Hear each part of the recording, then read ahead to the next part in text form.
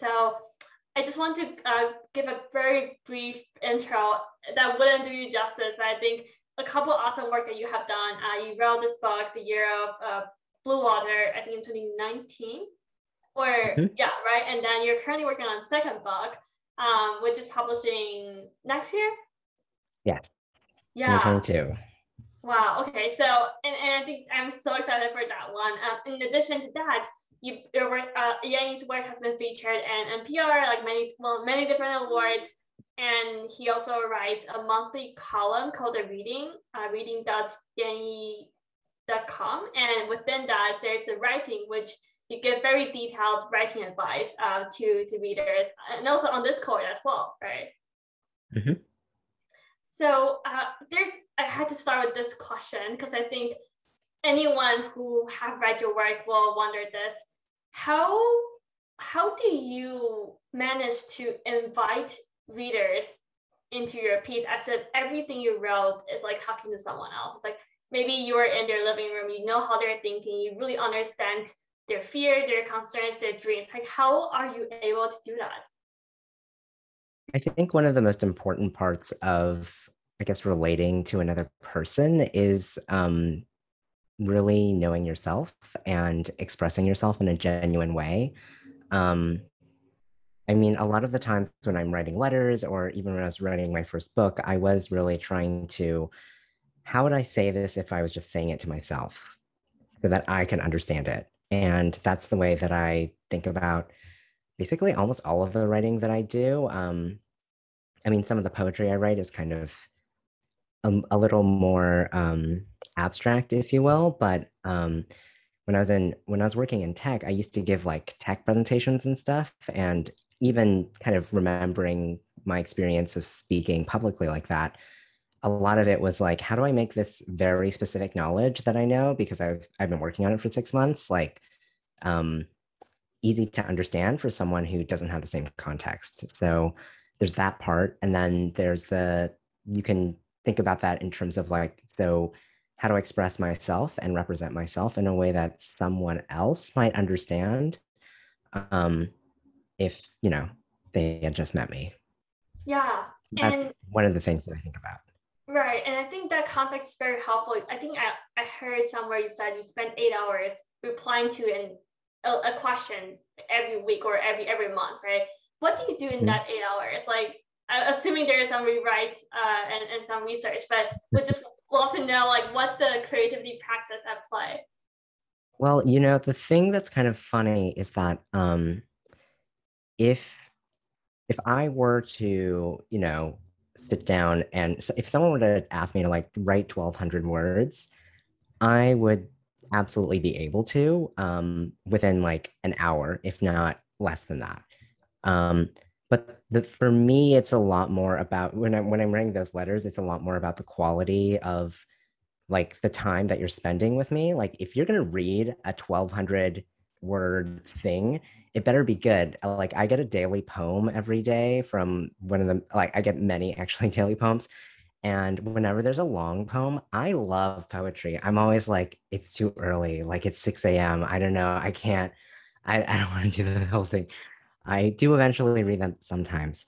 Um, but uh, so that was kind of circuitous, but like I I could write something really quickly, but um, what actually ends up happening is that I read the letter over and over again, and the process kind of changes depending on what I'm thinking about. But I'll usually pick a letter a couple of days before um, I actually start answering it because um, you have to kind of like prepare to write. Um, I will meditate on it. I will just like let it enter my thinking ecosystem. And so what happens is that I'll start to notice when I'm experiencing something that might be related to how I might want to answer that question. Um, and so I give myself a couple of days. And then I will um, first do kind of a rough draft where basically I like blurt out every single thing that comes to mind and i'm i'm someone who has a lot of ideas so it can kind of be like um, letting all these ideas come out of like a tiny crack in a dam basically when i'm first writing these drafts and a lot of the time what I end up writing in my notebook doesn't actually end up in the letter. Um, it's just like a way for me to get all of my thoughts through until I get to the actually like good thought or the the thing that is like the thing that that person can take away. Um, and so that that is part of the process. Um, sometimes when I'm stuck, I do transcribe what I've written in my notebook to kind of jumpstart myself again into like, what was I thinking about? Like, what were the ideas? And that's also helpful too. Um, and then usually I'll like either finish writing the letter or I'll, um, I sometimes if I'm stuck, I'll just walk away from it for a little while and like give myself a couple of hours and then I come back. But if you're a writer, it's important to know when to wait, when to actually write, and when to stop. And um, so that's kind of what I've what I've been working on perfecting, I guess, with these letters. I had an opportunity to because I was writing them every week. Um, but yeah, that's been something that I've. It's it's different for every thing that you write. So I wouldn't do the same thing if I were working on a poem, for example. And and how do you know when you stop when you stop? Because I think I may have read somewhere when you say when you feel it's almost perfect, you will stop, right? Or like that may be mm-hmm. a change over time. But curious how you are currently fine tuning that process. Um, it's interesting. I so when I was a software engineer, I would work on solving technology problems, and there's this thing called bugs, right? It's like something's glitching in the software, and I remember um uh, a lot of the advice that I remember seeing was like, if you have been hammering away at a bug for over an hour and you still haven't gotten every, anywhere, it's time to walk away. And it's kind of a similar feeling, right? Of of fatigue and like your brain has gone to outer space, basically, like smashed into that brick wall of whatever you're doing. And I think it's really important to recognize when you have splayed out everything, all the cards that you have, and none of them are coming up with answers for you, and to walk away when that's the case. Um, because you never know what you're going to see on that walk. Many dogs, if you're in a place where there are dogs, or um, if it's the springtime, you can walk through the park and actually look at the flowers that are starting to bloom. And one of my favorite things to do is look at the tiny leaves that are coming out of trees and like little baby leaves. It's really, it's really beautiful. And then you you just stop thinking about that thing, and then when you come back, you'll be like, oh, I guess I could have just done that. What if I just did that? So, yeah, that's that's my current go-to method. Wow, I, I think a lot of your writing is, as you said, you, you look, look at the question a few days before you, you just live and incorporate those experiences into the writing piece. And the, mm-hmm. the, the other question I want to ask is who is your audience? Is it are you writing for yourself, for the person who asked the question, for both maybe, or for mm-hmm. your community uh, um, at, at a whole? Um, I think that it's kind of all of the above a little bit. Like I'm definitely writing for myself because when you're writing, you you have to understand what you're writing. Like if you don't understand what you're saying, then someone's going to ask you a question one day in an interview and you're going to be like, I don't know, like I just wrote it. so, um, and I think that's especially important in poetry because a lot of the time you can write a poem that makes perfect sense to you, but like someone's going to ask you one day, like, why did you include a semicolon instead of a colon? And you better be able to answer that. Like, you have to have that kind of attention to your own work. So, you like, I'm the audience. And then there's, um, I think definitely a younger me who's the audience too. Like, my 20 year old self who was like i don't know how to like be a writer i don't think i'm a writer i clearly did not major i'm not majoring in writing like i'm not that person and i don't feel permission to be that person. And i think a lot of the ethos of what i'm trying to do with the reading in particular is to um, give kind of a an expression to the permission that everyone deserves in um, taking part in your own care and taking part in the dreams that you have in your own life, not just the job you're supposed to have, um, the, I don't know, family you're supposed to have, the children you're supposed to have, the gender you're supposed to have. Like those are, um, those are all things that like we're, we're just told, especially if you have a K through 12 education, um, what you're supposed to be doing, there's always something to do next. And um, I really want people to answer or the question of like, what would you do if there was nothing to do next? Who would you be? Um, and writing and art are just one of the great ways for me to contemplate that um, and to actually pursue them. Yeah, that question, what would you do if there's nothing to do next? It's so power, it's such a powerful prompt. And uh, I think a lot of your writing as an artist has to do with constraint, especially in poetry, right? So Nanya, I'll hand it over to you uh, to dig more into that aspect. Love the tag team. Um, I have so many questions, uh, so many things that um that you're what you've already said makes me reflect on. Um, so I write poetry, and um, I mean what you're saying about first you have to know yourself and what you want to say uh, sometimes it comes while you're writing, but definitely there is a reason for the semicolon and not a comma or something else. Um, mm-hmm. And I, I think it's it's very powerful to know um, in the moment, but then also after during the editing, uh, why you you included that. So I guess my question is, um, it's a simple one.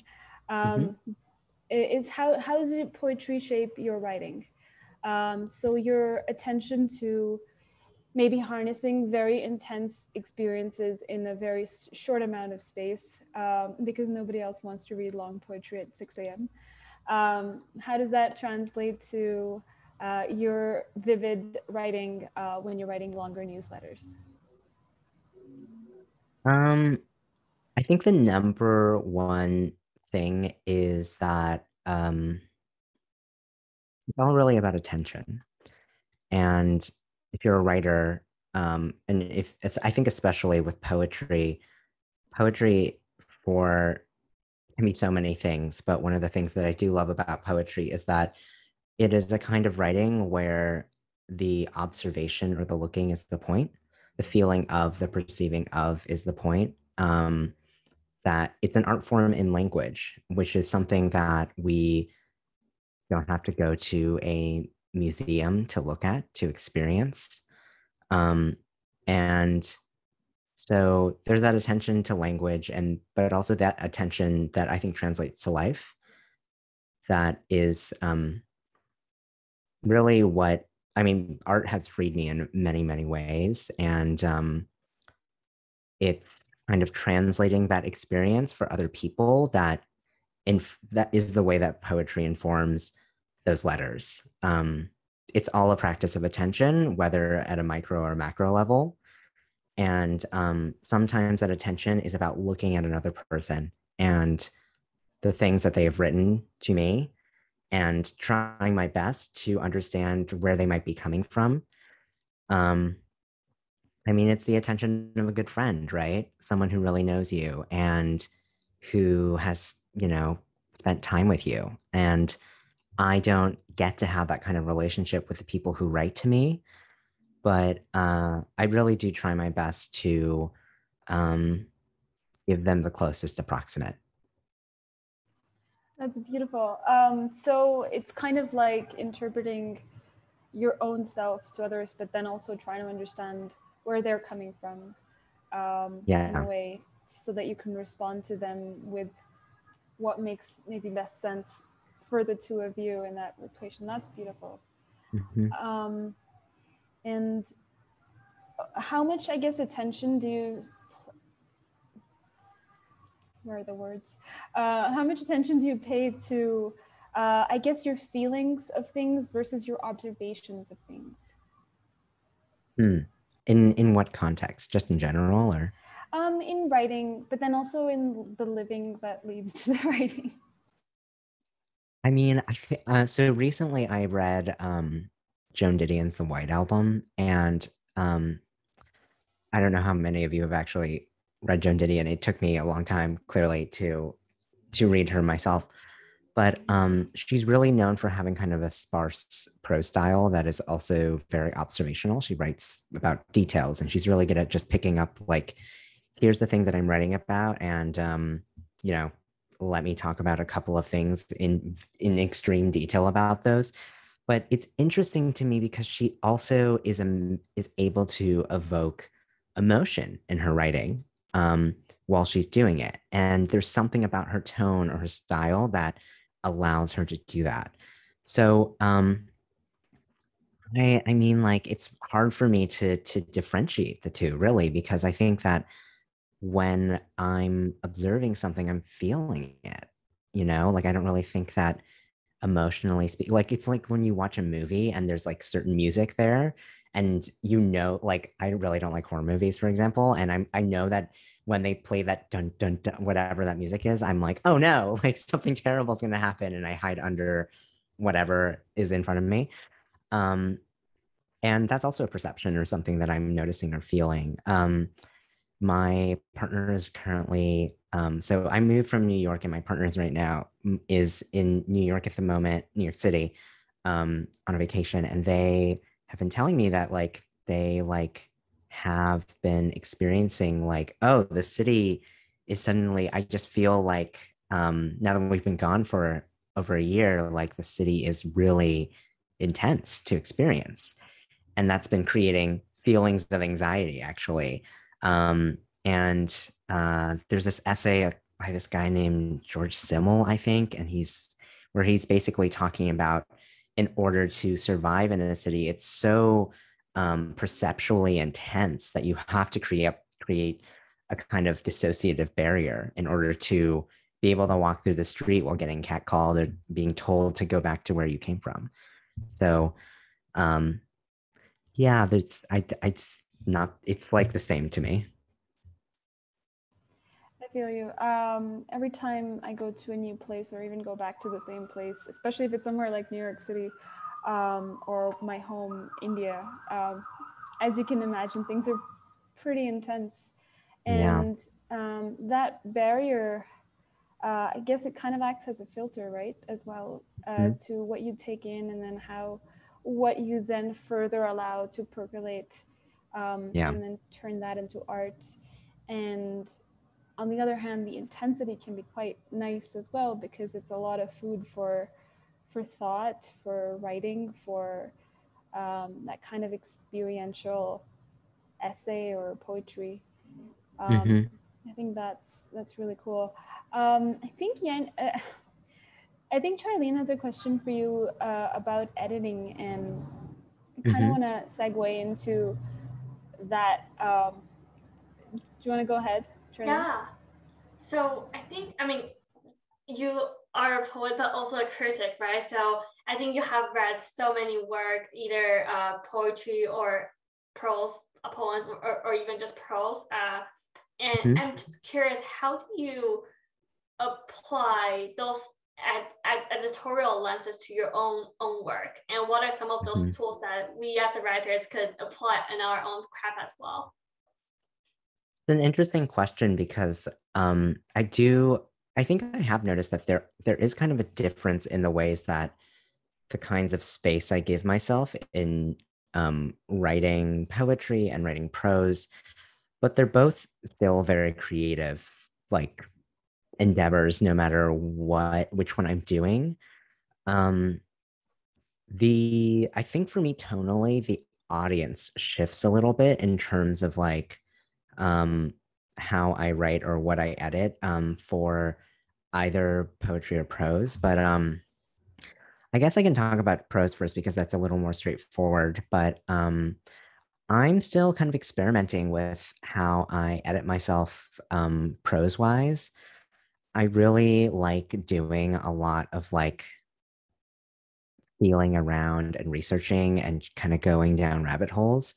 I'm a very, I mean, I think this is why I'm a poet. I'm a very kind of like multivalent thinker.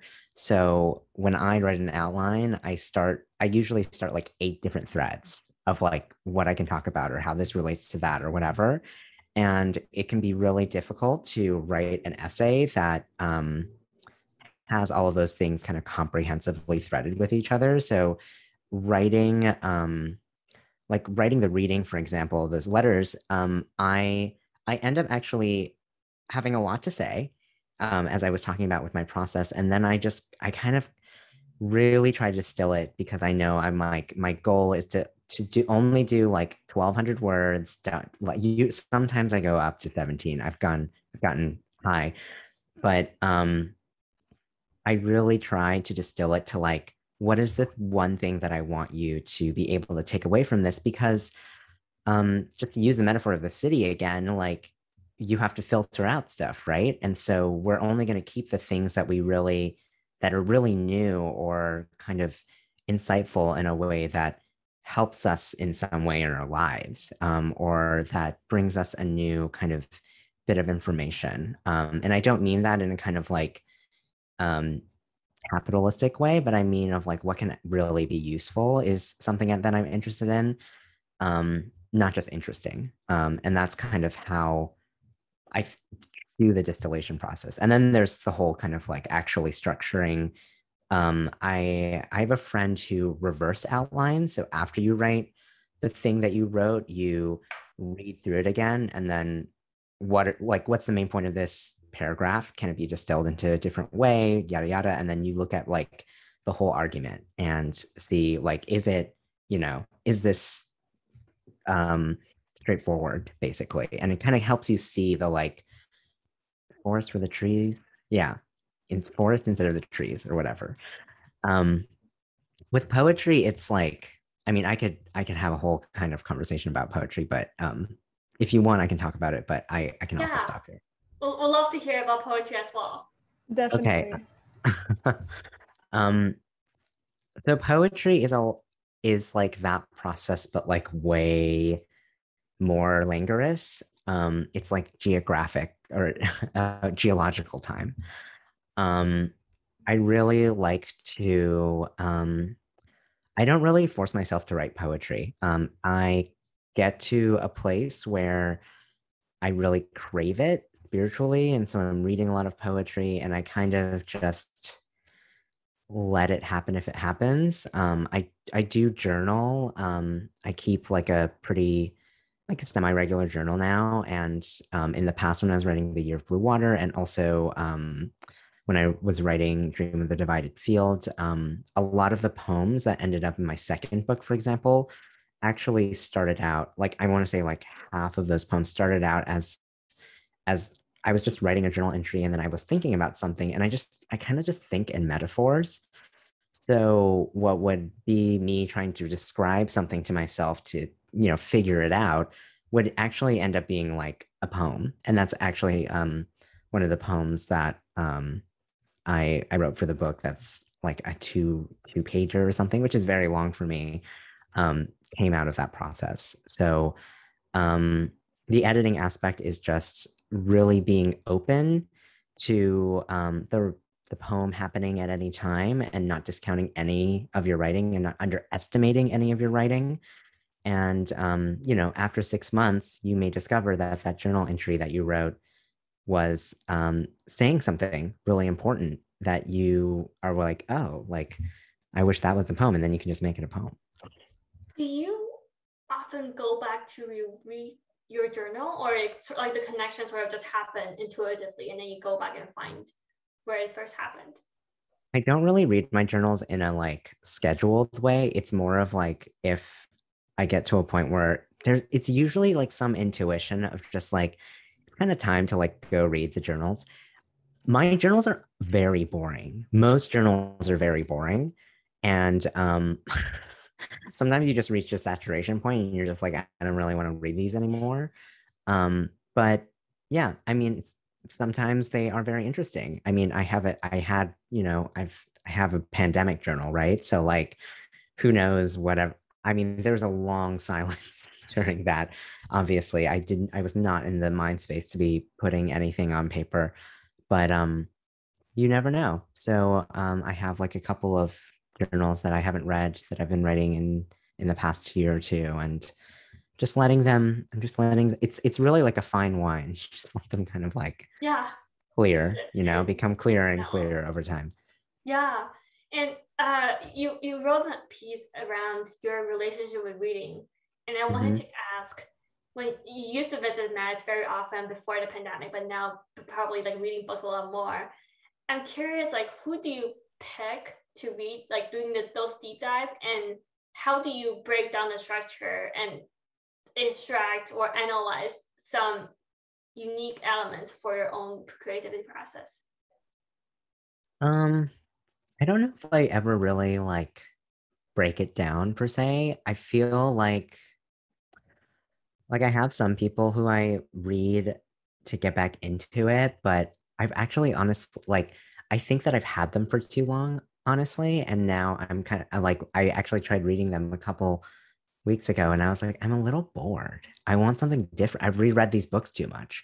So um, Joan Didion was the first um, book that I read that I was like, oh, I can definitely read. I can still read. um, I finished that book in like two days or something. So it was that was exhilarating, and I think that I'm I'm a, like I when I was I don't know seven, like I loved reading books. I still love reading. It's the same like childish kind of desire for wonder, and um, you can't get wonder by rereading things um, necessarily. You obviously could, um, but sometimes you need a couple more years of growing and changing to ha- get new observations. And um, so, in that, those moments, it's always good to try and find new writing. Um, but yeah, I don't really, I don't really do a, the whole breaking, uh, breaking things down. I do a lot of kind of like listening to the music of whatever the poetry it is that I'm reading, and then um, thinking about the things that they're saying. Like sometimes when you're heartbroken, you just like reading books of poems that are about heartbreak, you know? And um, yeah, it's a lot, it's a lot like that more for me. So it's just like, like it's more of that experiential where you actually sit with what the author is trying to write and listen to what they were trying to say, right? And then maybe mm-hmm. get that inspiration and infuse that into your work. I love it. Yeah, and sometimes I don't it you don't even get that influence until years later um, when you're just like oh i know i know i know a writer who does that really well because i read them five years ago and like now that i've read the white album i'm like oh i guess i can read the other ones i did love the um, netflix document netflix documentary the Center will not hold on on mm-hmm. joan didion um, but i watched that years ago yeah i was well, like I have. I can read her writing now. Didn't happen. Yeah. yeah. I mean, I, I bet that resonates with a bunch of people uh, seeing that in the chat. And another very common question people ask in in online writing is about audience. And I think you have a very unique take on what what is building an audience mean, what's about presence. And mm-hmm. Nanya, would you like to uh, jump into that? Um, yeah, sure. Uh, so one thing that we both really like about your newsletter and your writing in general is that you're very authentic. You're very present. Uh, I mm-hmm. don't like the word authentic. I like I, no, but what um, does it mean? exactly. No, but you're very much yourself. But I feel that you're very quietly listening as well to the world around you uh, and to other people's feelings. Um, I love that you make space for um, for any reader, not not just the person who wrote to you, and not just uh, me, for example, but like anybody mm-hmm. else in the world to come in and experience um, a bit of you, a bit of what you're thinking about, um, and you kind of invite them to maybe make that one part of uh, their sort of cumulative thinking on that. Um, mm. So I guess how do you, for yourself, um, come to that point? How do you? The question here is how do you cultivate your presence through your books, letters, and poetry? Mm-hmm. Um, but how how do you make space for yourself really uh, to be who you are, and also for um, the reader uh, to come experience a bit of that with you, and then go ahead from there? Yeah, did I, am Did I? Yeah, did I get that? Sorry. I think so. I mean, thank you. I'm so glad that you feel connected in to the work in that way, and it's absolutely what I want. Um,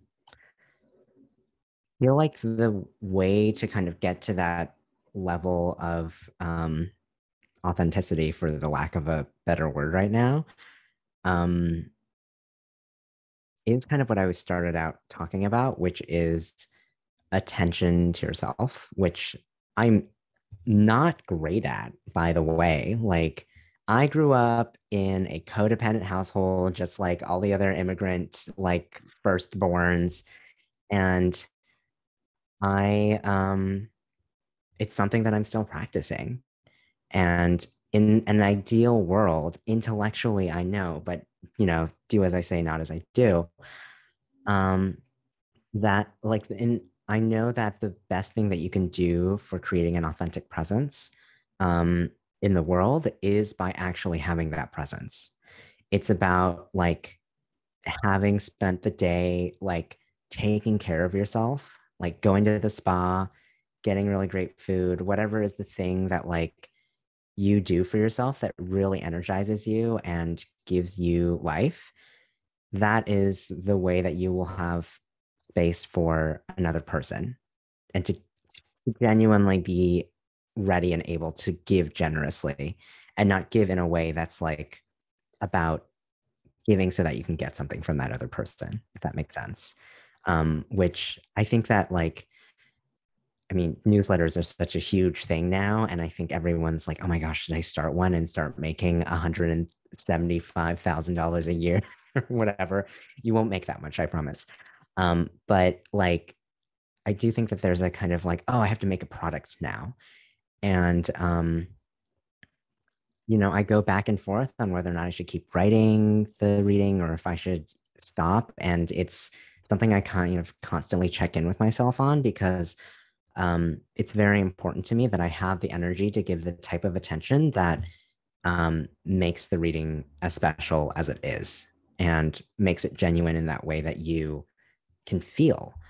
Um, as I and I think I'm going to keep saying this forever, but my my friend who is a medievalist and also a professor, um, she gave me some teaching advice last summer that was um, all you have to do for students is to give them attention because your only job is to give students attention because attention is love. And so um, if I can um, muster the energy to take care of myself and to, you know, recharge my batteries, then I have the capacity to actually give that love in a genuine way. And that comes out as attention, which I've honed through, you know, other things that I write. So yeah, that is that is the main advice I would uh, give people. Have a spa day. That makes so much sense. Uh, I'm sure so many of us uh, have those stories or narratives for ourselves also where we grew up not necessarily knowing that we had to put in just give us give ourselves some time and um, i don't know i feel like in my circle or in my bubble everybody is a bit more aware of that and a bit more um, taking a pause um, in the face of social media or creating or working or all of those things and i and i think it's a really powerful thing um, I do feel I do feel like the newsletter is a gift, um, as is everything else that I've seen of you. Um, so yeah, uh, it's, it's beautiful. Charlene, do you have any other questions for the moment? I have a very curious question. So I think in the in your almost like last page of the book.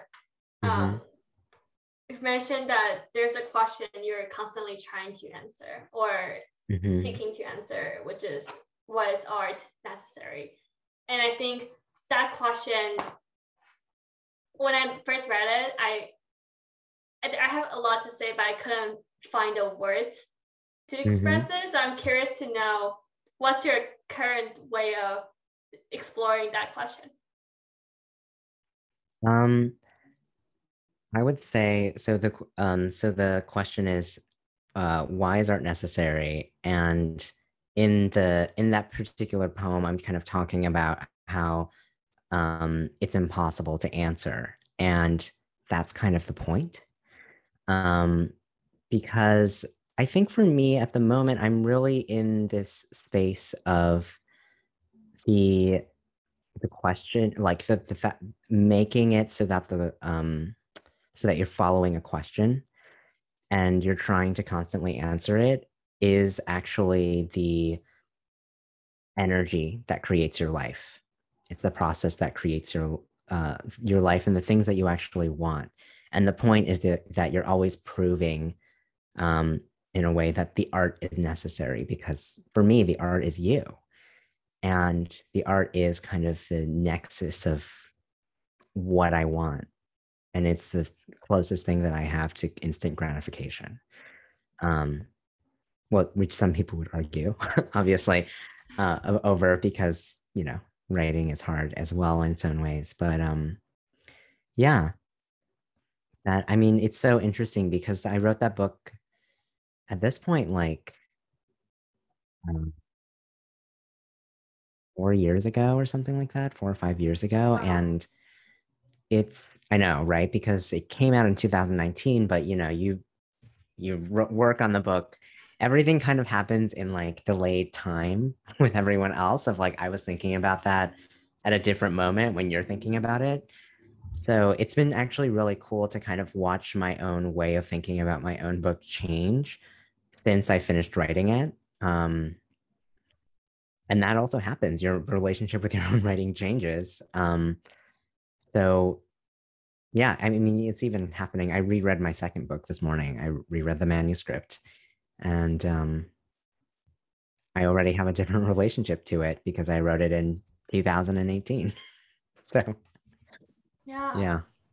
Uh, I have I have a question. How do you and how do you like how do you deal with that? Um, I had the same experience with my book. I wrote it over a period mm-hmm. of 10 years, I guess, and it was more like random writings and then it kind of all came together and since mm-hmm. it became a manuscript and since it was published and since people are asking me about oh but like i love this piece about that and i was like yeah but it's so different how i feel about it now so how do you um, what do you remind yourself uh, to, I guess, remember that maybe we're different, different uh, in a different phase with your relationship to something at that mm-hmm. point. It's really, yeah, it's really interesting to see a different reflection of yourself, to notice, um, to notice your own face changing. You know, it's like a, t- it's like a, you're the, you see the future version of the time lapse, but other people don't only see the the younger the younger version um i i really think that like that that whole process is about kind of um part of it is it's about the other person at that point you know? It's like it's about them kind of getting to that thought because of you because of what you wrote then. And in a way they're meeting you know 2015 you. And um that's who they're connecting to in a way, depending on, you know, who is the speaker, blah, blah, blah. But um, I think that's also very powerful. And, and part of, um, I guess, my response when people talk to me about, for example, the year of blue water is that like, um, I get to kind of receive them in this moment when they have found something in that work that I made. And then I get to talk about it with them. And if my feelings have changed, which there are several, like there are things in that book that I would probably write differently now than I, you know, would have then. Um, but I just didn't know. And there's still more that I don't know because I'm still changing. And um, that's also exciting. So I don't know. We're always changing, is my answer. So I never know myself. Absolutely. Um, we have a question from Rin. Would you like to would you like to say your question out in your own voice? Sure. Thank you. Uh, thank you, Yanyi, and thank you, Charlene and Nanya.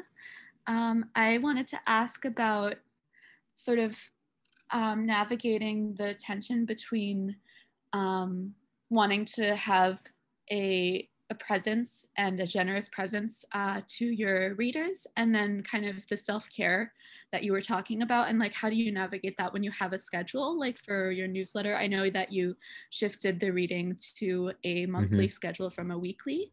Um, i was wondering if you wanted to talk about that that process a little bit and kind of what led to that. Thank you. Yeah totally. Um, so i started the reading in july 2020 which was a year ago. Um, this weekend, I guess this weekend would be like my next, my third letter or whatever anniversary. Um, the so there are a couple of things that I do. First of all, obviously, as you've noticed, I change my schedule. Um, if you know, I like your newsletter is your it like if you set a schedule for yourself and you don't want to meet that schedule anymore, you are absolutely free to change it. And um, I think there's a level of like we're so used to like oh accountability buddies. So like if I say to other people I'm going to do it, then I have to do it. But the reality is that it's your newsletter. It's your business. It's your it's your business and it's your business. So you can change it whenever you want. And it's important to kind of like remember that you're in control of your own life and you're not giving it away to other people. Um, you can change your mind and other people will understand most of the time. And in a way, you'll be inspiring them to have the courage to do the same thing for their own lives. If there's something in there where they're like, oh, I don't want to, well, I said I would. And, you know, that's the excuse, right? For the inertia. Um, so that that's one thing that's kind of, you know, more straightforward. The second thing is that um, uh, it's very useful that I respond to reader letters um, because I always have something to respond to, right? I'm not just sitting there being like, okay, like, what do I need to write about this week? Like, what's the thing? So it's a lot more of like someone's already asked a question. So all I have to do is answer it. And I'm a gabber. So, like, of course, I'll like, you know, take the excuse to talk. Um, but uh, the reason why, so I was going weekly for um, basically uh, nine months or something like that. And it was exhausting. especially when after the summer I started teaching as well. Um, twice a week, I was teaching an intro to creative writing class, and I was um, still finishing my MFA, my graduate degree. So I was a little busy, and I was doing events and you know all the regular stuff that I usually do. So um, it got to be too much. Obviously, I could do it, can can do it, which you know is most of the like you know I think is something that's the threshold usually that we give ourselves, right? Like if you can do it, then you'll do it, right? But if you make that the threshold, it ends up being the, uh, you know, you'll cross that threshold and then you'll burn out and then you'll like, you know, cancel plans with everyone and quit your job and like have some sort of a quarter life or midlife crisis.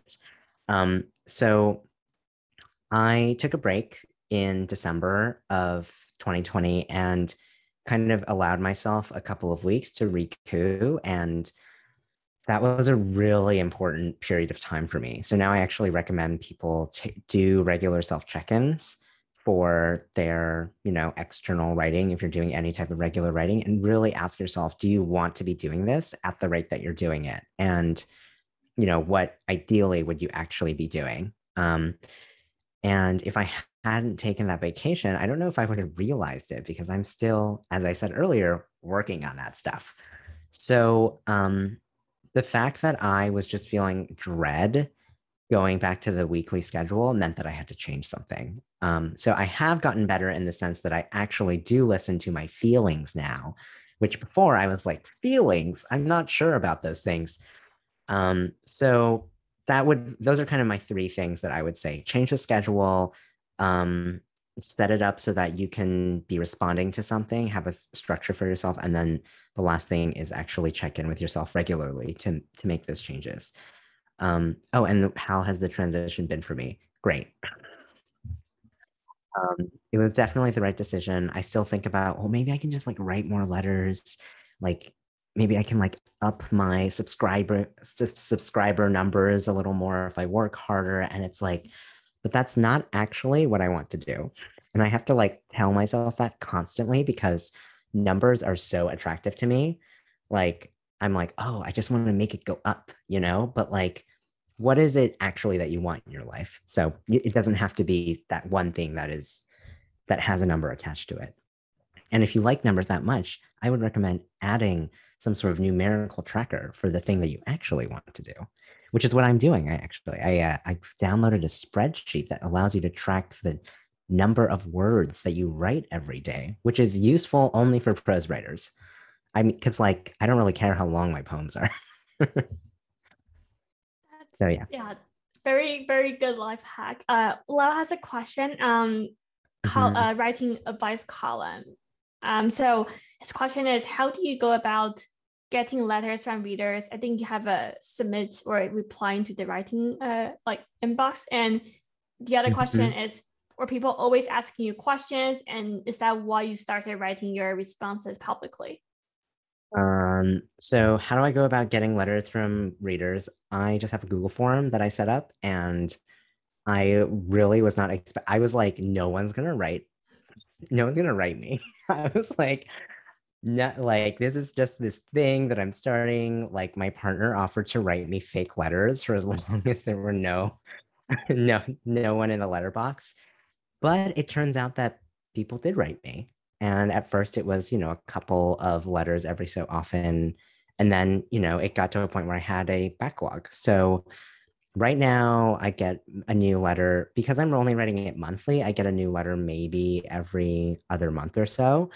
But I have like a little bit of a backlog. So it's okay. I might do like, hey, write me a letter at some point. Um, but that's that's kind of it. I just asked people to write to me and then they did. So it was it was quick. Um, I was very surprised.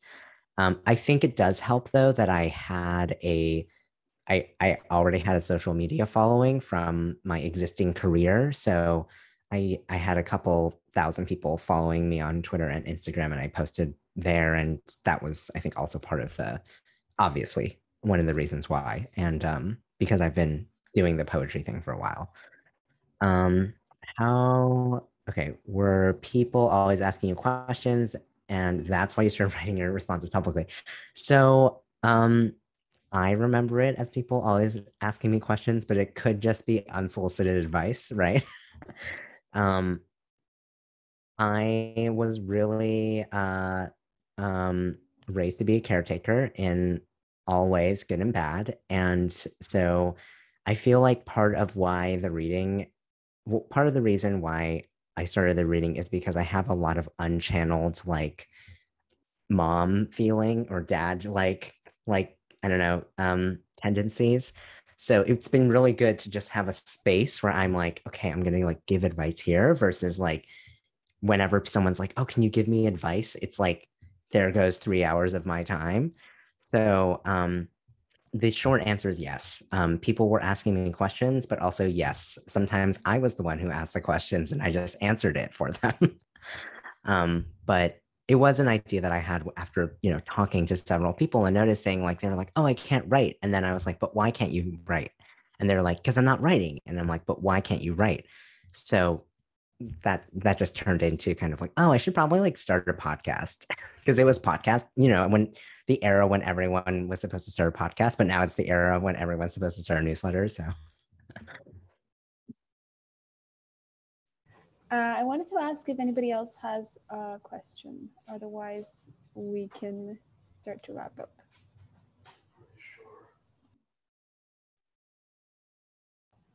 Seeing no takers, I have a question. Um, you mentioned uh, that your newsletter, oh wait, no, writing your newsletter was, oh no, I've lost the quote, is what you would do if you had nothing to do next, right? So I guess my question to you is, what's next, either in terms of mm-hmm. your newsletter or in other projects? Good question. Um, I always have a million projects going on. Um, I think what's most difficult for me is like really focusing on them and sticking to them. Um, you know, neurodivergence, etc. So um, I have I have a couple of different projects. I'm working on a book based on the reading. It's a um, book about figuring out how to be a writer. Um, prosy book. I'm trying to I'm I'm trying to figure out the tone I wrote 20,000 words and then I wrote another like 5,000 words in different tones. And I'm just like, if they're not right. So I don't know. That's, that's thing. Um, and then I'm also working on a poetry project. Um, it's an erasure project slash kind of a documentary po- poet poetic uh, documentary poetry project. Um, I'm really interested in looking at um, abuse at all levels of formation in with with a with people um, and looking at primary documents, but also um, talking about abuse in a queer relationship that I had and stuff like that. So um, that's kind of next on the docket, and and I'm trying to like find teaching jobs and like be a person surviving in capitalist America. Like that's I'm I'm doing the the hustle dance or whatever. Um, so yeah, and I'm also um I um I'm mentoring someone right now, which is really nice, and I might start offering that more publicly. I was just doing a pilot program, but turns out I'm good at mentoring, um, if I may say so myself, because I like it. So I'll I'll just it turns out I like mentoring. So um, yeah, so that's those are kind of the things on the docket, but there's always a million other things going on at the same time. So. I feel like the advice column is mentoring at large. It is actually absolutely true. That was actually kind of the point because it's like, why do you have to like be in a hundred thousand dollar like per year MFA program to get this advice? I mean, you did the MFA, so yeah. Mm-hmm. Yes, that was um that's i mean that's a whole conversation we can have but yes yeah thank you we're so so grateful for you to come and join us share a lot of advice answer the questions we have around writing finding your uh finding your community cultivating your presence and all that. So thank you so much. And we we had so much fun. And we'll share this uh, out in a week or so. If you want if people want to follow you and check out your work, what would be the best way to do so? Uh, you can go to my website, yanyi.com, um, and and or you can go to the reading, um, which is where I mainly update and stuff because I'm I'm basically off social media. Yeah, and that's really one of the three newsletters I read every week for sure. So I mean, I also read the writing, so that's why there's a weekly cadence. But it's it's really really good. So I highly recommend everyone check it out. Well, thank you so much. And thank you for organizing this both to Charlene and Nanya. And this has been very lovely, very fun. Thank you. Uh, any final words, Nanya? No, I was just going to say thank you for being here. Thank you for your wisdom and for mentoring at large. Um, and uh, whenever your mentoring program is out, um, we'll be sure to sign up. Thanks to everyone who attended. Take care, everyone. Thank you. Bye, everyone. Bye. Have a great night.